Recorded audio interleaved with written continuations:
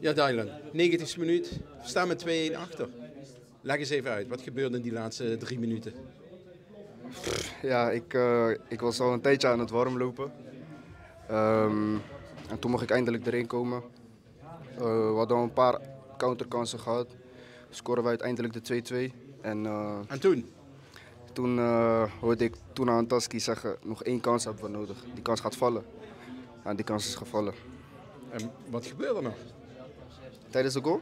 Ja, want jij scoorde die derde. Ja. Uh, Vijf blessuretijd. Volgens mij uh, een afgeslagen bal, voorzet van Jong PSV.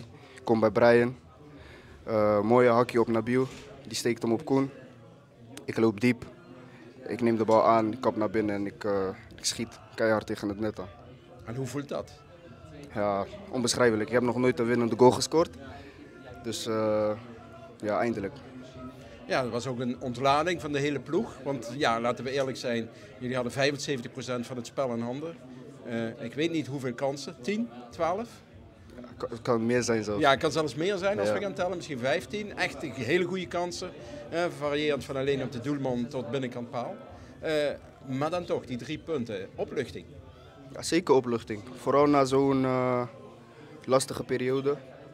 Um, maar ja, we, de drie punten zouden ooit wel weer onze kant op uh, opvallen. En uh, vandaag is het onze kant opgevallen.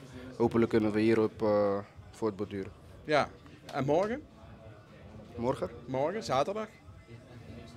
Heb je vrij, hè? Ik weet niet. Ja, ik, heb, ja, ja. ik heb nog niks Hoor gehoord. ik net uit de kleedkamer van de trainer. Oké. Okay. Dus dat is een goede beloning. Zeker. Allee, geniet van je weekend. Dankjewel.